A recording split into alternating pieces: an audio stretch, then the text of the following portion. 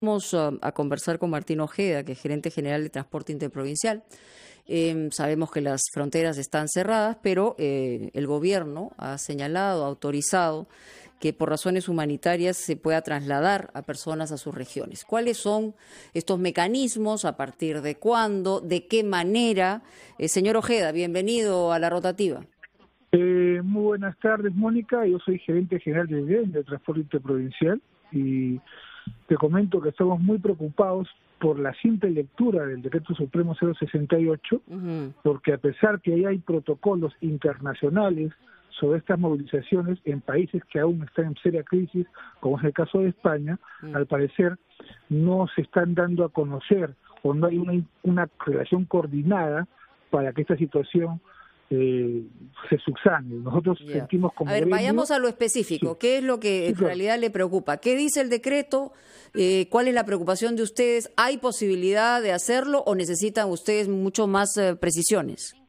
Lo que pasa es que en, en, en, un caso de pandemia no estamos descubriendo la pólvora, Mónica, y hay situaciones estándar internacional para una debida movilización, porque también hay que cuidar tanto al que sale como al que está allá en la otra región esperándolo y lamentablemente nos hemos visto sorprendidos porque si tú lees el decreto, le están dando facultades a las regiones donde cada región toma una posición. Estamos escuchando en estos momentos como el presidente regional de Junín dice que va a llevar a su gente y que el presidente regional de Huancavelica tome su posición y así está pasando a nivel nacional. Acá tiene que haber una sola autoridad para que esa sola autoridad establezca un protocolo nacional algunas regiones, presidentes regionales, han avalado el cierre de sus propias carreteras.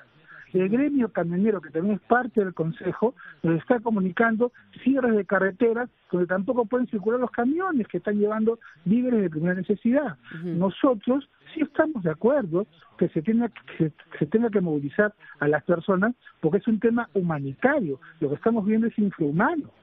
Claro. Entonces, o sea, lo que ustedes están pidiéndole al gobierno es una estandarización del protocolo de acuerdo a los protocolos que se siguen en otros lugares del mundo para poder movilizar gente. Exacto, y no están haciendo eso. Cada uno está haciendo lo que cree. Y eso está mal. Pero entiendo que no lo están haciendo todavía, que recién, digamos, está eh, el decreto recién ha salido.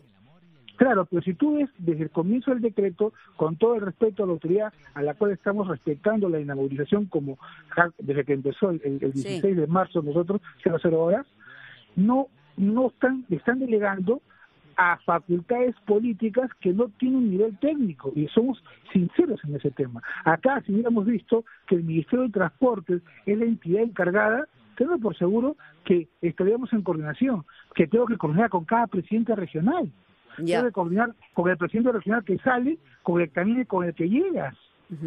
Ojo, ¿eh? Ahora, entonces tendría, o sea, ¿eh? lo que lo que entiendo, entiendo la preocupación, me parece absolutamente pertinente. Es verdad que no ha sido una cosa específica la que ha dicho el presidente. Todavía yo no he tenido el, momento para leer exactamente y literalmente el decreto de urgencia.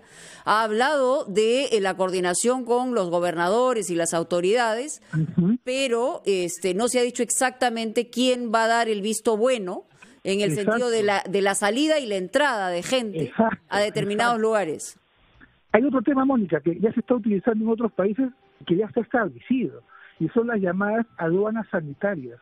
¿Tú crees, con todo el respeto, Mónica, que, que si estuviéramos un poquitito más organizados, hubiéramos podido aceptar desde el punto de vista humano y desde el punto de vista salud que más de 700 personas vayan cerca de 80 kilómetros caminando sin haber pasado una aduana sanitaria, las aduanas sanitarias ya se tienen que establecer y por eso que nosotros invocamos al gobierno que nuestro gobierno está dispuesto a coordinar, está dispuesto a coordinar con el gobierno aduanas sanitarias en los terminales, porque es ahí donde se colocan las aduanas sanitarias. Ahí se ve el test rápido. No vas a esperar 80 kilómetros de caminata.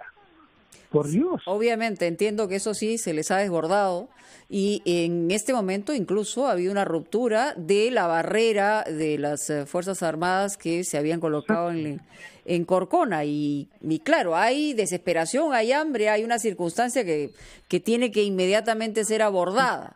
Y te comento algo que es bueno que el público lo conozca y el gobierno no tiene por qué desmentirnos, porque nosotros sí estamos coordinando con nuestro sector. De las 24 regiones, o de todas las regiones, solamente hay 12, 12 que estaban dispuestos a una movilización humanitaria. Y las otras 12 y encima tenemos, vuelvo a reiterar, la problemática que a los que tú tienes que coordinar. Pero ahora, cuando ustedes dicen, cuando usted dice que está coordinando con la autoridad, está, autoridad, está coordinando con quién, con el ministro de Transportes? Nosotros hemos tenido una reunión formal con el Ministerio de Transportes para establecer protocolos y ciertas solicitudes para, de a pocos, paulatinamente, comenzar a movilizar el sector económico. Porque acuérdate que independientemente del turismo, que está cero, tarde o temprano la actividad económica y la movilización se tiene que dar. Ahora, en este caso, lo que entiendo es que va a estar liderado también por el Ministerio de Defensa, ¿no? Que también tendrá su cargo el tema de la vigilancia de, los de los eh, contagios asintomáticos, el seguimiento, etcétera. y MINSA.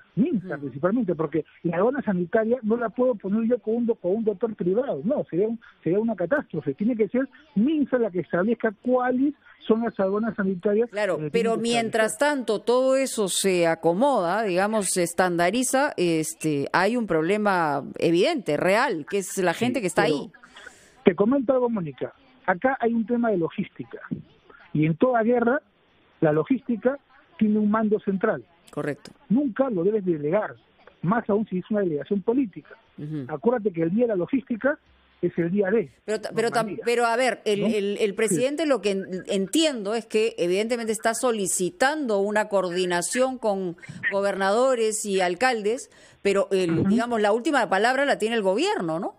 Sí, por eso que sería bueno y tocas un buen punto que el reglamento de este decreto subsane las falencias que ya estamos viendo en la, en la misma norma principal y que tú lo puedes ver de la respuesta que da, por ejemplo, el presidente regional de Junín, que Huancavelica se encargue de lo suyo. Por Dios, todos son peruanos. No, ciertamente, evidentemente, además tenemos cada gobernador, este, que francamente es una situación complicada. Ahora, la misma ciudadanía lo ha votado por ellos, así que en una situación de emergencia, evidentemente tenemos que tener claro que hay que pasar por los protocolos más estrictos. Exacto. Y eh, es importante lo que usted ha señalado, señor Ojeda. Esperemos que eh, las autoridades estén escuchando esto y sepamos de qué manera manejar, porque no se puede desbordar en ninguno de los sentidos esta circunstancia porque puede ser letal. O sea, no, no, no es que solamente haya uno o dos contagiados, esto puede generar una letalidad a la que evidentemente este, nadie quiere. Una, un agradecimiento especial, muchas gracias y esperemos que así sea. Vamos a una pausa, ya regresamos.